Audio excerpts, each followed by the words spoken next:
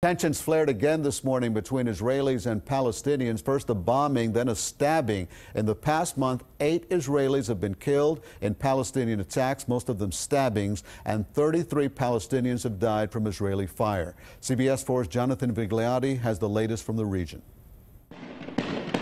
Israeli soldiers fired tear gas to push back crowds of Palestinian protesters in Bethlehem.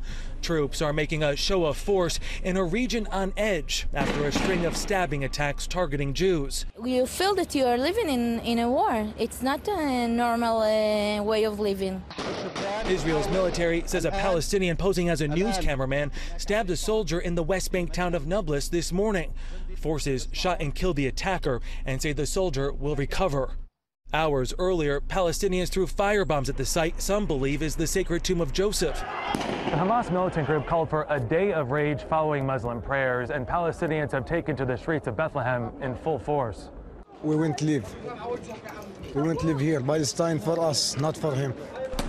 Israeli police barred men under 40 from praying at Jerusalem's Al Aqsa Mosque this morning. Hundreds of worshippers laid prayer mats in the streets instead. The sacred site has been at the heart of recent violence after speculation Israeli officials wanted to limit access to Palestinians. It's a stupid occupation. How could you how could you touch a sensitive uh, area like this? It means so much to the Muslims and the Arabs. Leaders on both sides say they're trying to calm tensions in the region. But so far, it's not working. Jonathan Vigliotti, CBS News, Bethlehem.